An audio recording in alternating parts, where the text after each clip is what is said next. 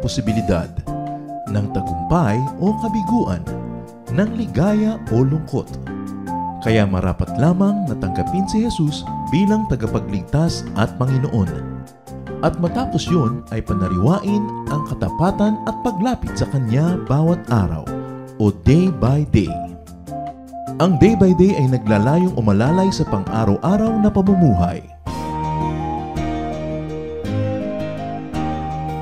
Narito po si Kuya Ed Lapis sa mensaheng pinamagatang Discipline for Peace of Mind.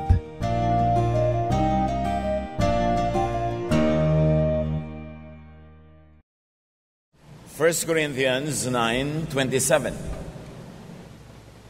I keep my body under control and make it my slave. Sinusupil, pinipigil ko ang aking sarili para ako ang maghari sa aking pagkatao. Discipline for peace of mind. Paano nga ba sa paraan ng disiplina ay magkakaroon tayo ng matiwasay, tahimik na kaisipan, damdamin, buhay? Panginoon, salamat po dahil kayo ang kapayapaan namin at tinuturoan nyo kaming maging payapa. Ano man ang kalagayan ng aming kapaligiran. Patuloy niyo po kaming linisin at ngayon ay buksan ang aming isip, ang aming puso sa inyong mensahe na makapagpapalaya, makapagpapalakas sa amin at lalo pa na magdudulot ng kapayapaan. Kayo pong mangusap, mangaral, magturo. Dalangin namin ito may kalakip na pasalamat sa ngalan ng iyong anak at aming Panginoong si Jesus. Discipline for peace of mind. Maraming sinasabi ang Biblia tungkol sa paraan ng pag-iisip ng tao at ano ang nagiging bunga ng paraan na yon ng pag-iisip. John 16.33, si Jesus, I have told you these things so that in me you may have peace. In this world you will have trouble, but take heart, I have overcome the world. Yan ang isang number one na mensahe ng Panginoong Jesus, peace. Kaya nga nung siya isinilang, kumakatama ang anghel, peace on earth. Peace in people's hearts. Peace talaga. Sayang ang pagiging religyoso, sayang ang paglapit sa Panginoon, sayang ang paglilingkod, pag-aaral, kung hindi naman tiwasay ang kalooban. Kasi ang talagang gusto ng Panginoon na marating ng lahat ng mananampalataya ay kapayapaan. At sabi niya, in this world you will have trouble.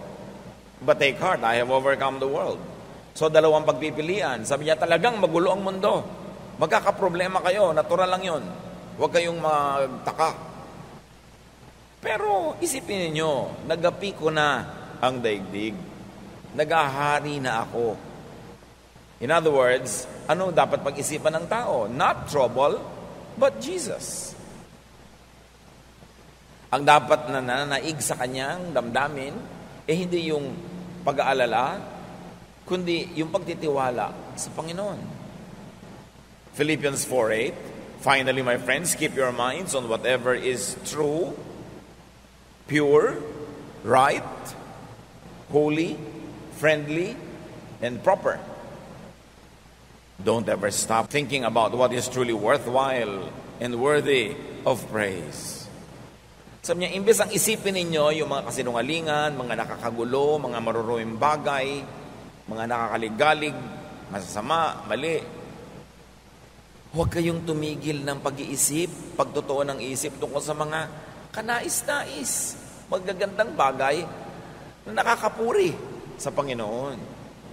In other words, we are given choices of what to think of. Pwede ka mag-isip ng trouble, pwede ka mag-isip ng peace, Pwede ka mag-isip ng Satan, pero pwede ka mag-isip ng God.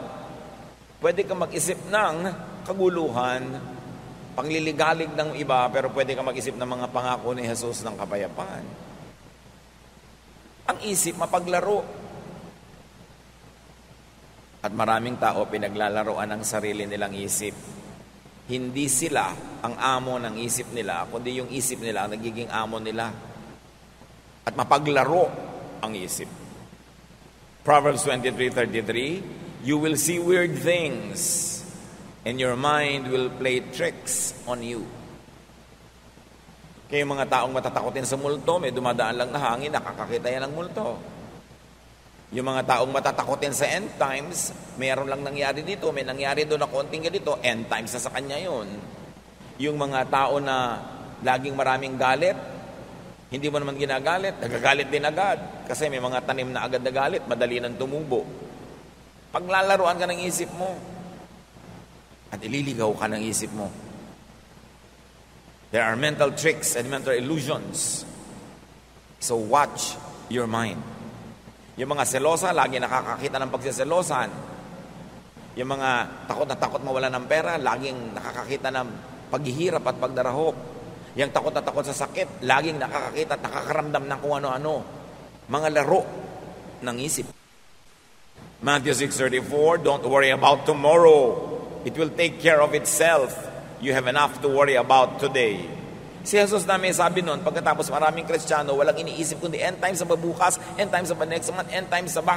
Sabi, don't worry about it. Not even Son knows about it, only the Father. It means it's not for you to know. Kasi kung para malaman mo yan, di dapat binunyag. Tapos laging yun ang iniisip. Mga bagay na hindi naman mababago, iniisip pa rin. Ang nagbabago lang damdamin. Nalulungkot, natatakot. So you don't worry about tomorrow. Bakit? Kawaworry mo ba? Mapapalitan mo ba yan? Maiiba mo? Hindi rin. So sayang lang ang pagod mo. And worry is thought. On the reverse, thought is worry. Pag palaisip, mapag-alala. Pag laging nakakaalala, madalas lang malungkot.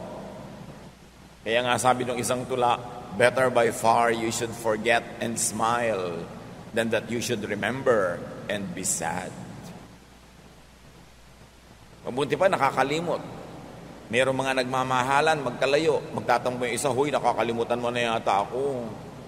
Kung talagang mahal mo siya, hindi ba iibigin mo pa nga malimutan ka na ng konti para hindi siya laging malungkot? Kesa lagi mong na, nakaalala ka, lagi ka na miss. Tuwan-tuwa ka, yung ego mo tuwan-tuwa dahil lungkot na lungkot siya at wala ka. Ganun ba ang pagmamahal? So sabi niya, mabuti pa na malimut-limutan mo ko, na makangiti ka naman, sumaya-saya ka, kasi lagi mo ako naaalala, tapos nalulungkot ka naman. So dahil mahal kita, please, kalimutan mo na muna ako dahil magkalayo naman tayo. Don't be obsessed with me. Yun ang pag-ibig na nakakapagpalaya, hindi pag-ibig na nanggagapos, nang tatali, nang kukulong. Psalm 32, 1 to 5. Our God, you bless everyone whose sins you forgive and wipe away. You bless them by saying, You told me your sins without trying to hide them, and now I forgive you. Before I confessed my sins, my bones felt limp, and I groaned all day long. Night and day your hand weighed heavily on me, and my strength was gone as in the summer heat. So I confessed my sins and told them all to you, and I said, I'll tell the Lord each one of my sins. Then you forgave me and took away my guilt. Nandito na yung buong theology ng sin and forgiveness. Ang Diyos ang nag-aalok. Patatawarin ko kayo sa inyong mga kasalanan. Pupunasan ko, papawiin, aalisin ang bahid ng karumihan. Pagpapalain ko kayo. Ibinagtatapat nyo sa akin ang inyong mga kasalanan, hindi nyo itinatago, hindi nyo pinagkakaila. Patatawarin ko kayo. Ganon kasimple ang deal ng Diyos sa atin. Until religious intercessors and priests stood between men and God and made the business of forgiveness complicated and expensive. Pero kung sa Diyos lang, may magtapat kayo sa akin, huwag kayong magkaila, patatawarin ko kayo, eh di matatanggal yung guilt nyo. Ang hirap yatang mag-guilty. Pero ang mga religyoso, lagi nagpapagilty. Because they can control people who are guilty. Pero ang Diyos, sabi niya, huwag niyong buhatin yung guilt niyo. Gusto ko maluwag ang loob niyo. At sabi ngayon itong awit, bago ko ipinagtapat, bago ko inamin at hiningi ng tawad ng mga kasalanan ko, kasakit ng mga buto ko. Para ako may bone cancer. Umaatungal ako araw-gabi sa sakit. Araw-gabi, napakabigat ng pasanin ko. At ang aking lakas ay parang sinisip-sip ng init ng tagaraw.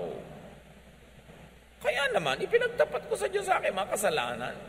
Wala akong iniwan. Hiningi ko ng tawad. At pinatawad niya ako. Inalis niya ang aking heavy guilt feelings. Ang ministry ng Diyos mang-alis ng guilt. Ang ministry ng mga relihiyosong nagpapahirap ng buhay ng kapwa, magpagilty. Kumusta? Ang damdamin nyo ngayong oras na to, kayo ba'y punong-puno ng guilt o malaya, magaan? Hindi dahil holy kayo, hindi dahil tayo ay perfect, kundi dahil nagtatapat tayo sa Diyos at pinapatawad naman niya tayo, at nagtatapat tayo. Mahirap na dala ng isip yung guilt. But guilt, forgiveness, peace are all thoughts. Nasa isip yan. Confess unto peace. Diretso sa Diyos. Hindi mo kailangan padaanin pa kung kani-kaninong tao yung confession mo. May bayad pa. Diretso sa Diyos. Yan ang gusto niya. Yan ang pinapalaya niya tayo. Hindi niya tayo hinahanapan ng perfection. Ang ginawa niya para mawala yung guilt natin, hindi siya nagre-require ng 100% holiness. Ipagtapat mo lang, ihingi mo ng tawad, and you are wiped clean. Not because you are clean, but because you are made clean by God, by God's kindness, and especially by the kind, God's kindness through the work of Jesus. Romans 8, 1 to 2. If you belong to Christ, you won't be punished. Tapos yung iba takot na takot pa. Ay, kristyano na ako pero nagkasala ako. Meron na naman ako parusahan. Tanggal na naman ang salvation ko. Sinabi na nga, if you belong to Christ, you won't be punished. Bakit ang kulit? Gustong gusto yung may punishment. At gustong gusto ng mga iba lang teacher, laging may punishment. Kasi ito yung may punishment, nagigilty ang mga tao. At yung nagigilty, mas madali silang pasunurin. If you belong to Jesus Christ, you won't be punished. Mahirap bang maintindihan yan? The Holy Spirit will give you life that comes from Christ Jesus, not from your own deeds, not from your own performance, but from Christ Jesus, and will set you free from sin and death. When you are freed from sin, it doesn't mean you are freed from committing sin because kahit na kay Christ ka na, once in a while you fall and commit sin. So what does it mean you will be freed from sin? You will be freed from the punishment of sin because Jesus took the punishment. And you will be freed from the guilt of sin because when you know that when you confess of the Lord, He forgives, therefore you are free from the guilt and the punishment of sin. But no Christian is really free from the actual act of doing sin because God knows that we are not perfect. God remembers that we are dust. Kaya naglagay siya ng daan para makabalik ang lahat ng nadadapa. Confession. If we confess our sins, He is faithful and just and will forgive us. And will give us a renewed heart. Hindi yun mahirap maintindihan. Kawawa ang mga nasa Panginoon na lagi pang guilty, lagi pang natatakot, lagi pang nag-iisip na siya ay mapaparusahan, mawawala sa presensya ng Diyos, etc. Be free in Jesus and freedom is thought. Again, nasa isip yan. Meanwhile, the thought of torture is punishment. Pag naiisip mong mapaparusahan ka, naiisip mong magugunaw ang mundo, maiisip mong dadaling ka sa impyerno na naman, nasa Panginoon ka na, mapap- matutorture ka lang. Nawawala yung joy of your salvation, bagamat hindi nawawala yung salvation. Romans 6.14, Don't let sin keep ruling your lives. You are ruled by God's kindness and not by the law. Hindi ang ibig sabihin ng don't let sin keep ruling your lives, eh dapat hindi ka na nagkakasala. Ang ibig sabihin nun, yes, nagkakasala ka pa rin, hindi ka talaga perfect, ang kapatid mo, ang mga kasama mo, magkakasala pa rin. Pero huwag yung takot sa parusa ang maghari sa buhay nyo. Ang paghariin nyo sa buhay nyo ay ang Diyos, ang kanyang kabaitan, at hindi yung law na nagbibigay ng punishment. Romans 6.14, read it over and over again. Don't let sin keep ruling your lives. In other words, don't let the fear of sin and the guilt of sin keep ruling your lives. You are ruled by God's kindness, not by your perfection, not by the law, or not by obeying the law. It doesn't mean do not sin. But it only means do not be a slave of the fear of sin and punishment. But of course, it's always preferred that we minimize sin. You cannot be sinless, but you should sin less and less and less. That is desirable. But sinlessness is unattainable in this life. Sino man na mag-iisip noon ay laging mabibigo, laging magigilty, matotorture, wala yung peace. Kaya alam mo na hindi yun ang tamang reading eh. Kasi pag tama ang reading mo ng scripture at application, ang bunga, peace. Thought of sin is master. But the thought of life in Jesus is liberator and your new master. Anong kinalaman ng mga verses na yan sa gusto natin pag-usapan na discipline for peace of mind? Inisa-isa lang naman natin ang mga pwedeng magtanggal ng peace of mind, di ba? Anong disiplina ang kailangan natin para maghari yung peace of mind? Unawain ito. Thoughts become emotions and emotions become blood chemistry. Pag may naisip ka, magiging emosyon yon. Either nakakalungkot ang naisip mo, lulungkot ka, nakakasaya, sasaya ka, nakakapagpaselos, magseselos ka, nakakapagpainggit, maiinggit ka. Basta may inisip ka, magkakaroon yun ng emotional equivalent in your system. And your emotion will change your blood chemistry. Napatunayan na ng siyensya yan. Kahit nga ang pag-iyak, bakit ang iyak ng iyak bago matulog, biglang ang sarap ng tulog? Kasi napatunayan na sa luha, kasama yung mga toxins, mga lason related to stress. Yung naninigas ang katawan mo, yung ikaw ay halos himatayin, yung hirap na hirap ka, yung toxin na yon lumalabas kasama ng luha. Kaya nalungkot ka, lumuha ka, lumabas yung toxin. Kaya yung mga hindi umiiyak, yung ayaw umiyak, nagtitigas-tigasan, yun na biglang naninigas eh. Kasi hindi na ilalabas yung emosyon. So, kung anong iniisip mo, magiging blood chemistry. Science has proven over and over that toxic thoughts show up as disease. Yung mga inggitera, selosa, inisin, masamain ang loob, magagalitin, mga laging may negative emotion, marami ang sakit. Kasi ang negative emotion changes blood chemistry, changes heartbeat, changes yung mga blood vessel, sumisikip, humataas ang blood pressure mo, kaya ka nagkakasakit.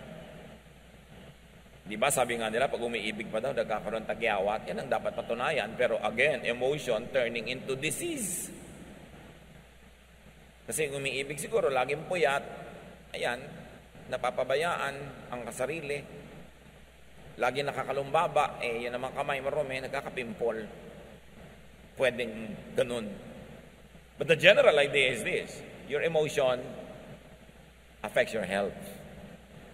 Negative thoughts trapped in the mind cause problems like high blood pressure, digestive troubles. Subukan ninyo na kayo magpapa-interview o kakanta o tutula o haharap sa public o gagawa ng something nakakanerbiyos, naninigas ang tiyan nyo. Di ba?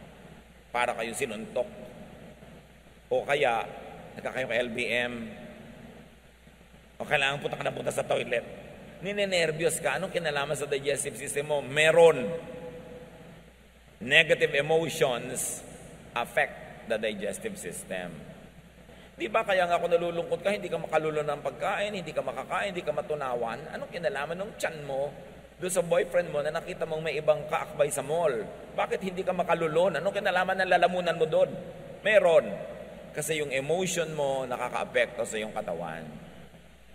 Pero yun namang biglang tinextan ka ng sangkaterbang I love you, nako, Masarap-sarap mong nguya at kumain. Ang pangunguya ko mo ay talagang wagas. Dahil sa text. Ano ba yung text? Letra. Nakita ng mata mo yung letra, na-decode ng brain mong ibig sabihin. Inassign na niya ng emotional value. Sumaya ka. Sumarap. Ang napakatabang mong kinakain. Dahil sa iyong emosyon. Pero ano man ang sarap ng kinakain, naalala mo na yung boyfriend mo, iba kami ka-date na iba, naku, nawawala lang halaga lahat yan. Jeremiah 17.9 The heart is deceitful above all things and beyond cure. And read mind for heart. Talinghaga yun. Ang totoong tinutukoy dito, isip. Huwag padala sa isip. Kontrolin ang isip. Dinadala ka ng isip mo sa matatakot ka, dinadala ka sa magsiselos ka, dinadala ka sa magagalit ka, huwag kang padala, siya ang kontrolin mo. Proverbs 23:33, you will see weird things and your mind will play tricks on you. May nakita ka lang halimbawang kung anong papel na may telephone number sa bulsa ng iyong asawa Your mind will play tricks. Kung ano-ano na ang mangyayaring kwento niya, buong-buo na yon. Kahit saan sila nag-check-in, anong minerienda nila, gaano sila katagal magkasama. Dahil paglalaro ka ng isip mo, dadalin ka actually sa gusto mong puntahan. Alam naman ng isip mo kasi yung takbo ng utak mo, kaya doon ka na niya dadalin. Kaya kung saan mo gusto papuntahin yung isip mo, mag-practice ka na doon nagpupunta yung iniisip mo. Kasi dadaling ka nun automatically when you are not in control. What you think of, you see. You imagine, you dream of. That's why dreams could become your realities. Pagka nabubuhay ka sa pantasya. Marami mga tao dahil sa fantasy, may pinafantasize sila isang tao na gustong-gusto nila, ini-imagine nila na gusto din sila. Eh hindi naman sila man lang kilala. May mga tao na sa public places, pag may mga kasama silang laging nandun din, mga opisina siguro, mga restaurant, o mga public places like this, napapansin nila na yung crush nila laging doon nakatingin, doon sila uupo. Tapos sasabihin, nakita mo, tingin ang tingin sa akin. They create their illusions. Paano hindi ka makikita? Kahit saan lumingon, nakabalandra yung mukha mo doon. Kung dadaan sa ganitong koridor, nakakalat ka doon. Dadaan sa ganong hagdan, nandun ka. Tapos sasabihin mo, sinusundan-sundan ka. Illusion. Dapat kinikilala mo kung ano yung ilusyon, ano yung realidad para nakatungtong ka sa lupa. Thoughts could become lifestyle. Pag nag-iisip ka lagi na magugunaw na ang mundo bukas, hindi ka na magtatrabaho. Papamigay mo na yung mga property mo. Tapos hindi naman nagunaw, wala ka ngayong property, sorry ka na lang. Eh, paano bang magunaw na may property ka pa rin? Bakit naman masama ba yun? Magugunaw na ang mundo, magbibitiw na ako sa trabaho, hindi ko na papapasukin sa school ang mga anak ko. Bakit masama bang maabutan ng pagkagunaw ng mundo yung anak mo na nasa school? Pagka lagi mong iniisip, it will become your lifestyle. Thoughts could become actions, habits, behavior, character. Kaya pag lagi mong iniisip na ang Diyos masungit, godly ka, magiging masungit ka. Pag iniisip mo ang Diyos lagi nanguhusga ng kapwa, ikaw din, nanghusga ka ng husga. Kasi nang iniisip mo tungkol sa Diyos, nire-reflect mo ngayon sa buhay mo. What do you think of God? Ano bang iniisip niyo tungkol sa Diyos? Na gusto niyo ngayong i-model. Pagka ang iniisip mo ang Diyos, tuwing nakakakita nagkakamali, lagi niyang sinisita, may hili ka ngayong manita. Pero kung iniisip mo na ang Diyos, mahilig magpatawad, nagiging mapagpatawad ka rin. What do you think of God determines your behavior. Nagiging salamin ka ng iyong isip at nakikita ng kapwa kung anong iniisip mo sa pamamagitan ng iyong mga kilos. Mark 7:20 to 23, Jesus said, What comes from your heart is what makes you unclean. Out of your heart come evil thoughts. All this come from your heart, and they are what make you unfit to worship God. Again, heart is to be read as mind. Sabi, ang lahat ng gagaling sa isip mo. Kaya ganyan ka magdamit, kaya ganyan ka kumain, kaya ganyan ka kumilos, kaya ganyan ka makisalamuha, makitungo sa tao, kasi ganyan ka mag-isip. Ngayon, gusto mong palitan yon, edi palitan mo ang paraan ng iyong pag-iisip. Kasi yung isip mo ang factory ng lahat ng ginagawa mo sa buhay, doon yung nagmumula. And if you don't watch it, thoughts can vex, trouble, and stress you. May bagyo. Lula ng isang bangka si Jesus at ang kanyang mga alagad. The same bagyo, the same bangka. Group 1, worried yung mga disciples. Group 2, nag-iisa si Jesus, sleeping. Magkaiba kasi sila ng iniisip tungkol doon sa bagyo eh. So merong relaxed. Kumisan nga, ibig-ibig mong mainggit doon sa mga taong sobrang relaxed. Wala na kayong pambayad sa kuryente, yung asawa mo, relax pa eh. Ikaw worried na. Di ba? Wala kayong kakainin bukas, walang pang-enroll ang mga bata, yung asawa mo relaxed. Ikaw, ngarag. 20 years later, pareho pa rin kayong buhay, pero ikaw, pumangit, tumanda. Siya, relaxed pa rin. Yan gusto mong ibig sabihin, mabuti pa yata to, ganitong sobrang relax eh. Ako, pagod na pagod dito. Yun ang blessing sa mga relax. May mga pagod na pagod to keep them relaxed. Eh, sobra ka kasing responsible. Wala pala kayong kakainin, wala siyang ginagawa, subukan mong wala rin gawin. Pag pareho kayo nagutom, may gagawin na rin yan eh. Eh, lagi mo kasi sinasagot yung problema, sinasalo, eh, di nagre-relax siya.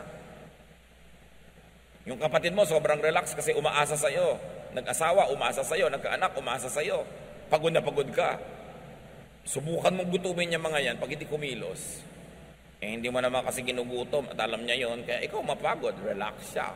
That's life. Choice mo yan eh. Kumisan para ring sumpa pag sobra kang responsible, ano? Lalo sa mga pamilya, pag maaga pa lang na-identify nila kung sino yung responsible, lagot ka buong buhay. Magpapabaya sila kasi alam mong di mo matitiis. Subukan mong tiisin baguhin mo yung pag-iisip. Hindi reklamo ka ng reklamo, tamad-tamad ng kapatid ko, tamad-tamad ng ganito. Eh, lagi mo kasi sinasalo, hayaan mo malaglag. Pag hindi nagbago ng pag-iisip yan. Minsan yung mga sobrang responsible, nagiging konsentidor na eh. We are already tolerating very bad behavior by rewarding the lazy and punishing the masipag. Yun ba ang justice ng Diyos? No. If you're always troubled in spirit, Identify why. Daniel 7:15 I Daniel was troubled in spirit and the visions that passed through my mind disturbed me. You see? Yung mga mahilig makakita ng vision, lagi na disturb. Well, once in a while, there are people who are really given visions so they could warn others. But most of the time, hindi naman vision yan eh. Subdivision, guni-guni. Marami mga self-appointed prophets, nakakakita ng demonyo kahit sa tasa ng tiya. Tinatakot ang buhay niya, tinatakot ang lahat. Everything is in God's hands. Why try to control what you cannot control? Ano ang nagpapagulo sa ating isip? Salain ng isip, kontrolin ng isip. Thoughts can calm, can soothe, can relax you. You see, in the same mind, thoughts that can stress you can thrive. But also in the same mind, thoughts that can relax you can flourish. So bakit man naman papapasok ng lagi yung nakaka-stress? Bakit hindi yung nakaka-relax? Manonood ka ng sine, horror pa. Ba't di na lang comedy? Ang lungkot-lungkot pa, nagbayad ka pa para ka malungkot. At bigat-bigat ng dibdib mo paglabas, gumagapang ka pa palabas ng sine dahil ang lungkot. Why? You have a choice. Psalm 119.52 I remember, Lord, your ancient laws and I find comfort in them. So you see, ang daming laws, pero ang sinofocus niya, yung nakaka-relax, yung nakaka-comfort. E di ang bunga sa buhay niya, comfort. Psalm 27.4 One thing I ask from the Lord, this only do I seek, that I may dwell in the house of the Lord all the days of my life, to gaze on the beauty of the Lord.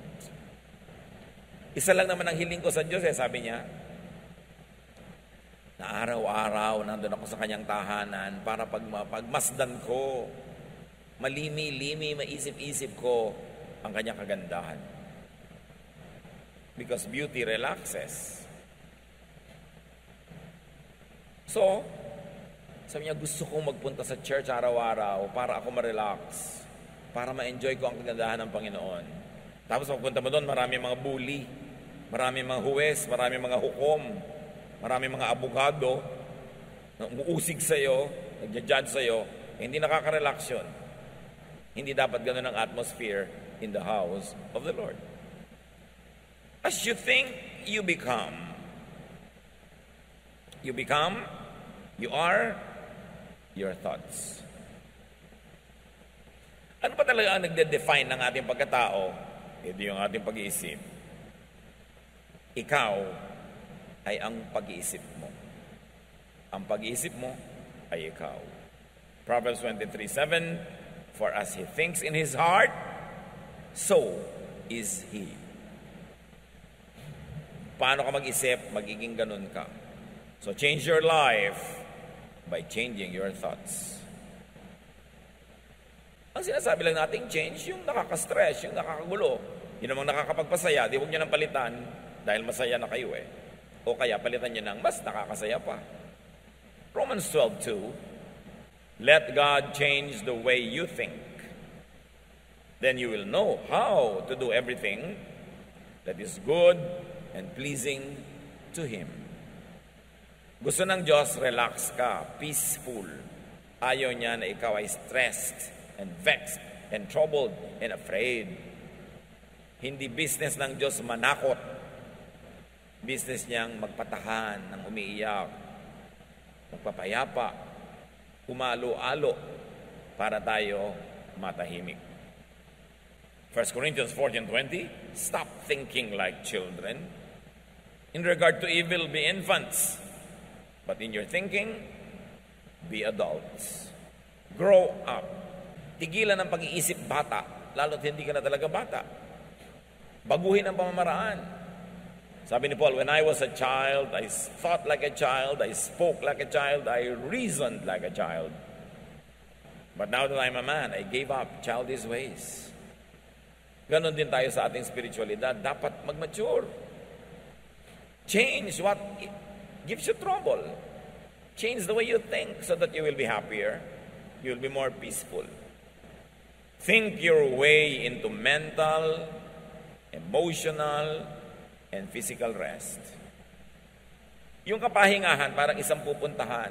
Yung pag-iisip, yun yung ruta na dinadaanan mo. Mag-isip ka sa paraan, ang ending, restful. Ang ending, relaxing. So think your way into rest, into relaxation, into peace, into serenity. 2 Corinthians 10.5 We demolish arguments and every pretension that sets itself up against the knowledge of God. And we take captive every thought to make it obedient to Christ.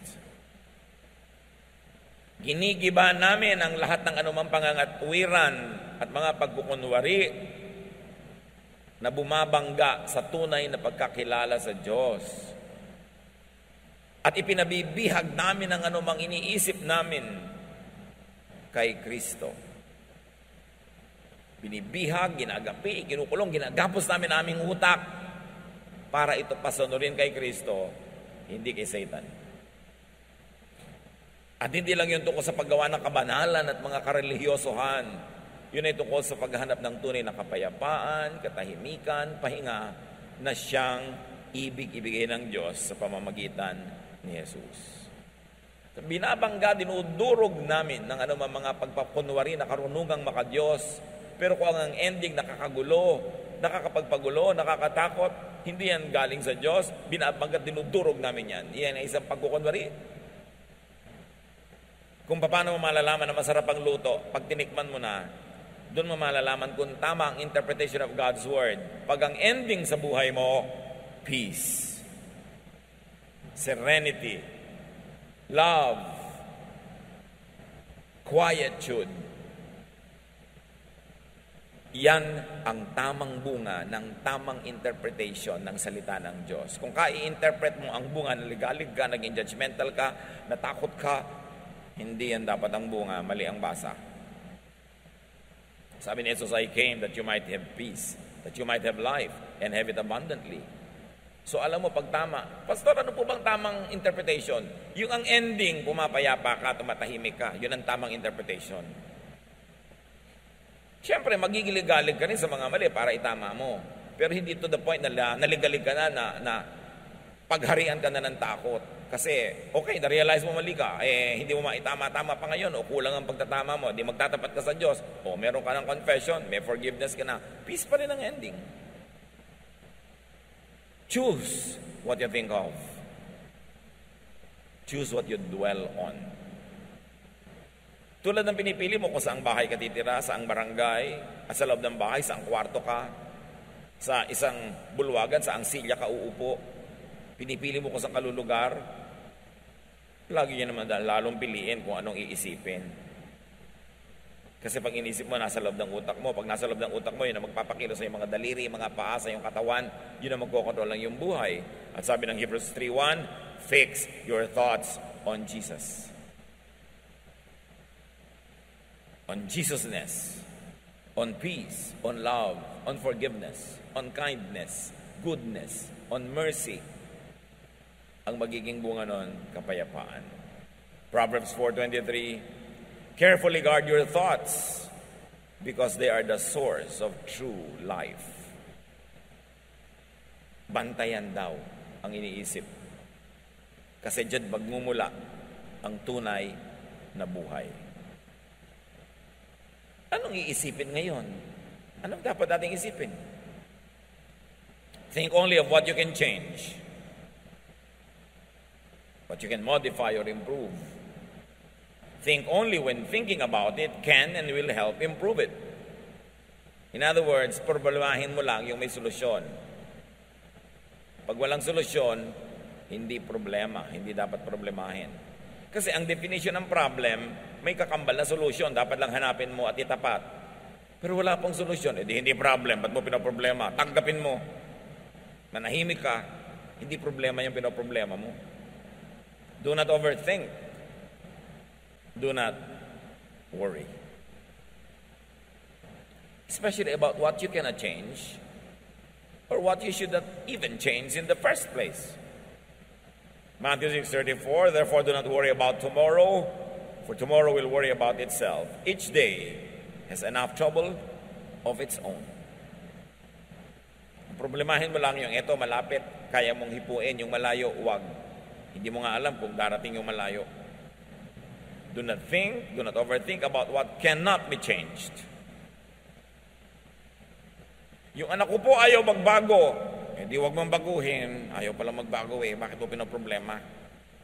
Ang asawa ko po ayaw magbago. Ginawa ko na lahat. Eh di tumigil ka ng kagagawa. Napapagod ka lang pala. Hindi naman nagbabago. Mahirap pag-isipin yon. Kailangan po bang i-memorize yan? Binabago mo yung ayaw magbago? Hindi bumabangga ka sa bundok, sa pader, napapagod ka. Do not think and overthink about what could only be accepted. At least at the moment. May mga bagay na dapat walang tanggapin. Baka bukas, mapalitan na yan, maiba, beyond you, without your participation.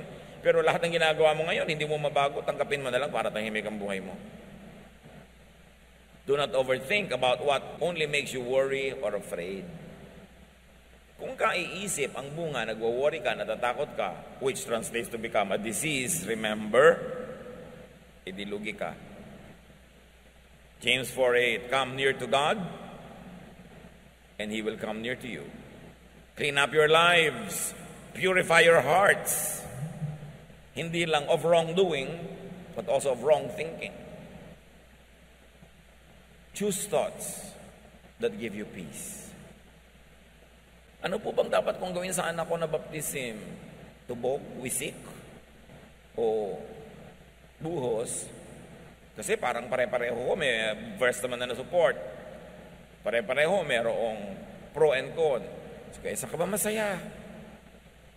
Gusto mo iturok natin para talaga pumasok yung tubig. Eh yun na lang po, saan ka masaya? Yung pala, pare-pareho may verses eh. Ba't mo pinoproblema? O gawin mo lahat para ka masaya.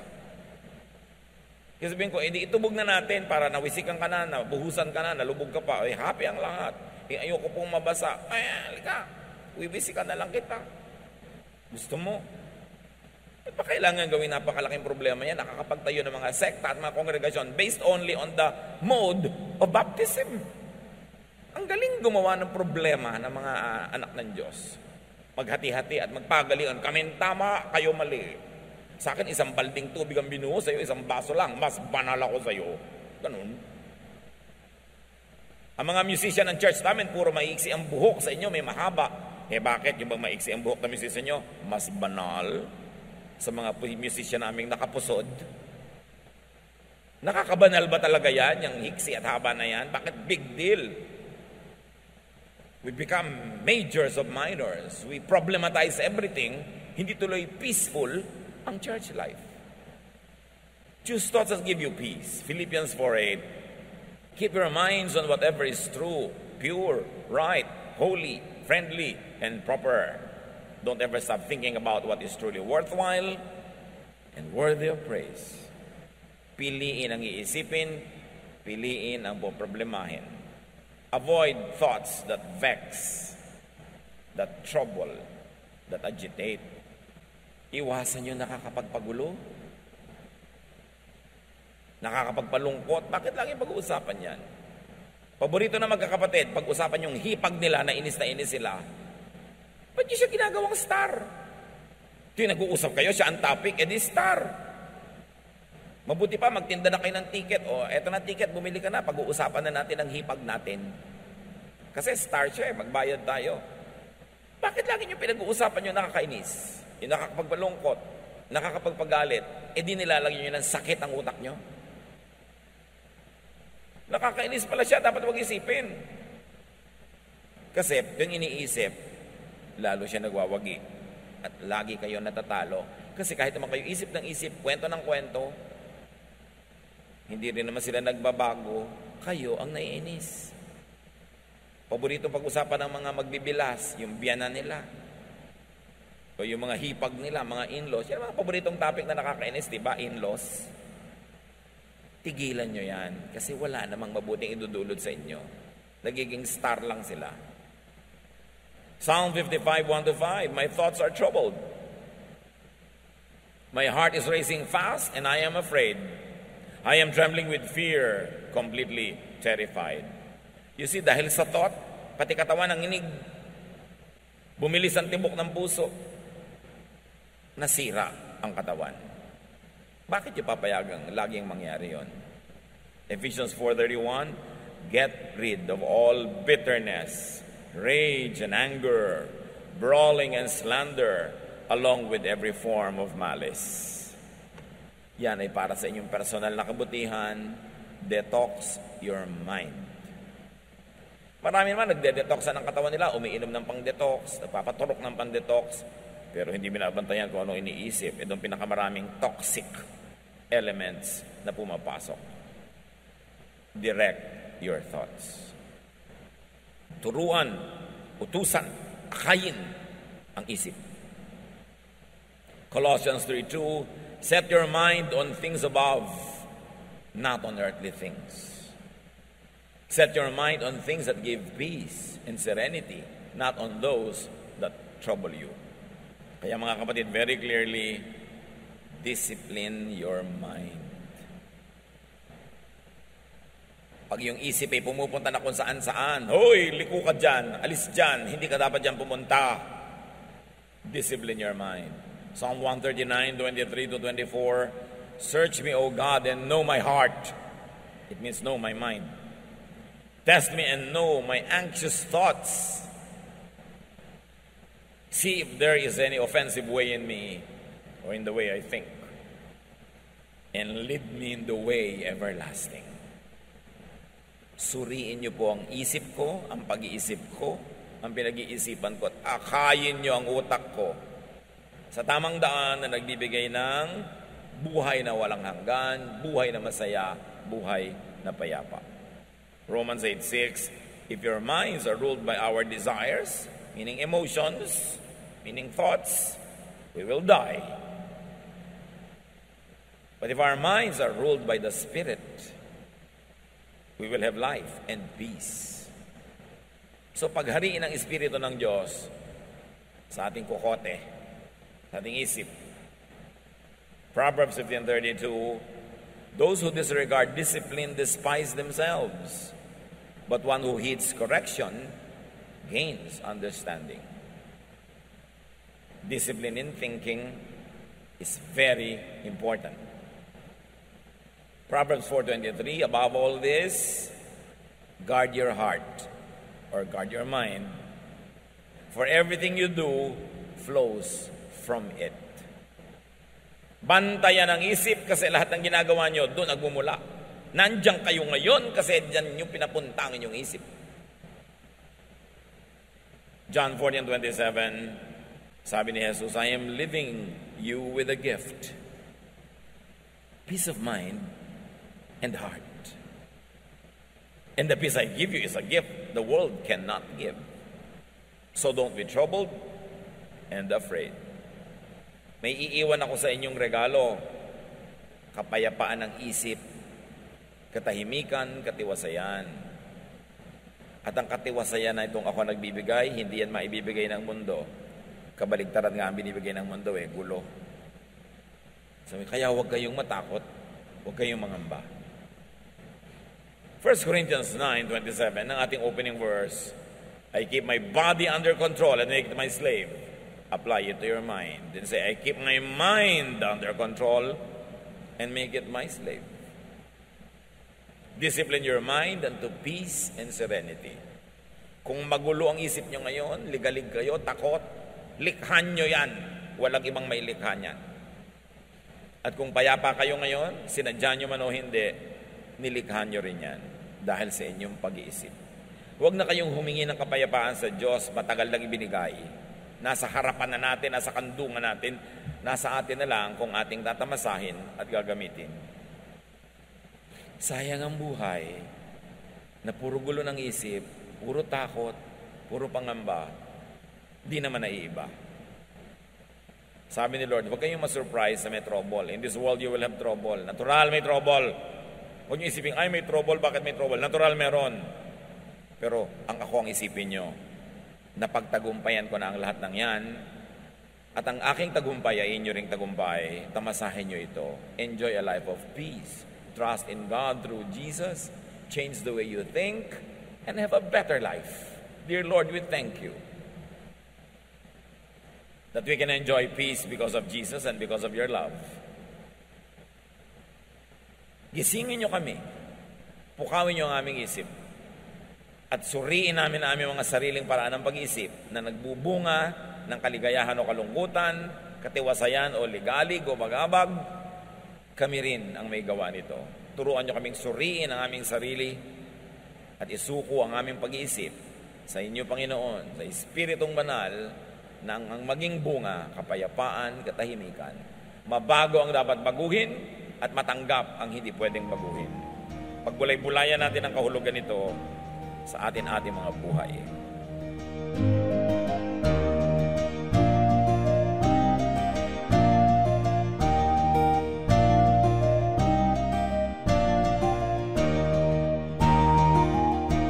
Ang katatapos pong mensahe ni Kuya Ed Lapis ay pinamagatang Discipline for Peace of Mind –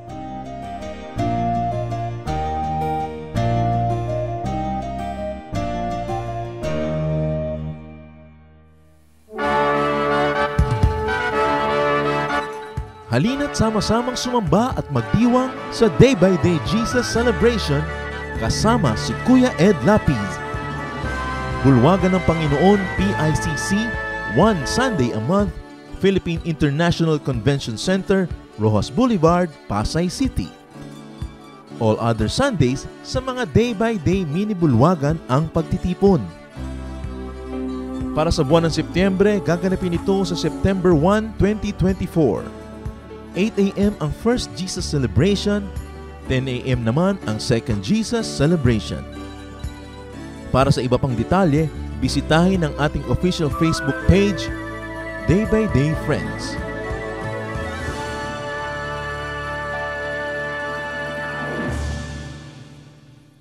Maraming kayamanan ang ating bayan, maraming hiyas ang ating lahi na dapat makilala at pahalagahan.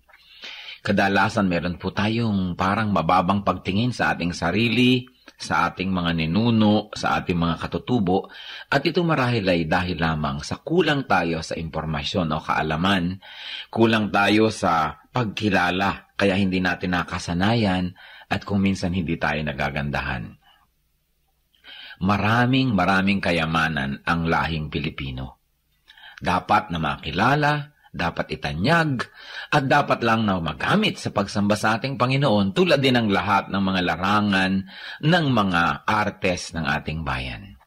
Isa na dito, na kayamanan ng bayan ang ulalim. Ang ulalim ay isang epikong paawit ng mga kalingga.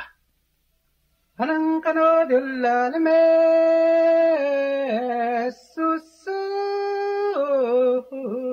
kananda tatong si anan ki mga nakuha nakampot ko.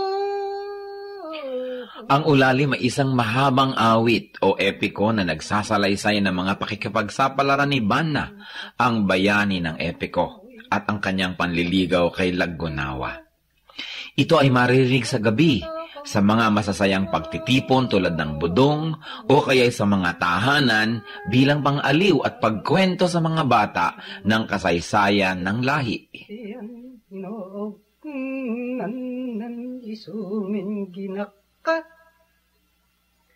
awat kad nang ngayon nyo kanda Ang ulalim ay binubuo ng mararaming kabanata na naglalahad ng katapangan, katalinuhan, kagitingan at kakisigan ng bayani. Ang ulalim ay tulad lamang ng maraming mga epiko ng Pilipinas. Ilan na dito ang Biyag ni Lamang, Darangin, Ambahan, at marami pang iba. Anang kano dito nga lipos kulit tong. At ang ulalim ay inaawit. Ang awit ay isang paraan ng pagkanta. Kadalasan sinasabi natin, umawit ka, ibig sabihin kumanta. Ang awit ay isang uri ng pagkanta na parang pakwento na hinahagod ang mga tunog na parang pasyon. Ang pasyon ay isang awit. At ito isang napakatandang uri ng musika sa Pilipinas. Magpahanggang ngayon ang mga makabagong mga awit o musikerong Pilipino kapag sila lumilikha ng mga tunog, kahit hindi nila sinasadya, sila ay napapaawit. Humahagod at ang pag-uri ng pagkanta ay kumukulot-kulot ang mga letra na paraan ng pag-awit ng mga katutubong Pilipino.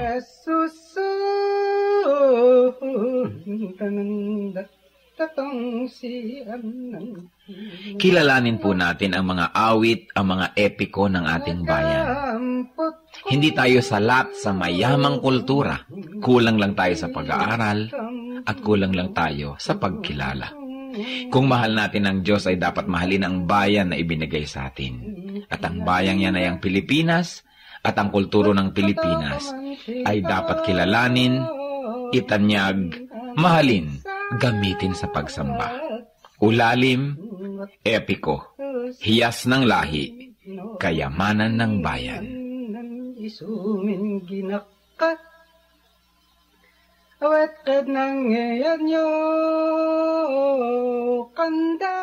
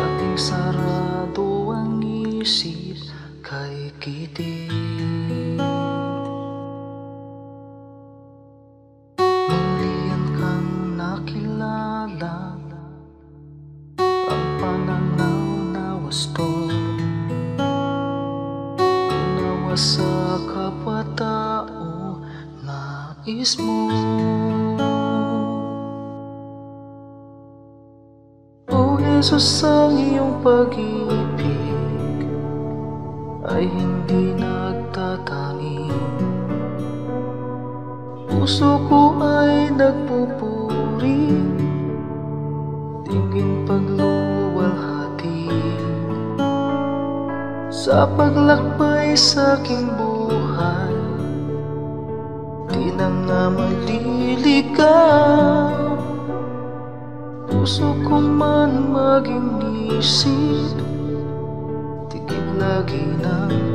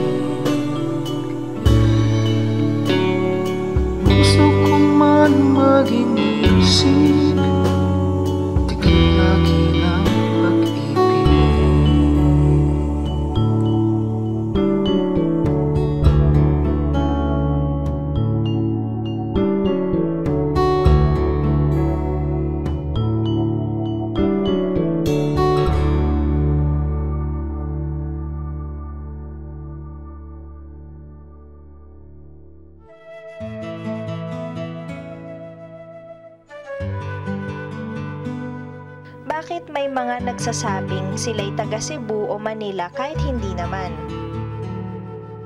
Siguro yung ating colonial uh, experience na masyadong kinlamorize yung mga big towns, yung mga kabesera. Kaya naman kahit man taga halimbawa, taga Cavite, taga Manila sila eh. Kahit taga Montalban Rizal, tinanong mo yan pag nasa Davao ka, taga Manila. So yung mga taga Bohol, yung mga taga Baclayon halimbawa, mga taga Bolhon, taga Cebu naman sila. Kasi gusto mong i-identify ang sarili mo sa isang malaking bayan. Kasi nga, nasanay tayo na yun ang uh, point of reference at sense of identity. Ang siguro kailangan natin ngayon na i-develop pa, bagamat maganda na meron tayong malalaking mga syudad, pride of place. Na kung tayo galing sa Matnog, o kaya galing tayo sa Bulan, o kaya ay sa Baknotan, sabihin natin na doon tayo galing. Kasi doon talaga tayo tumubo and we should be proud of our birthplace.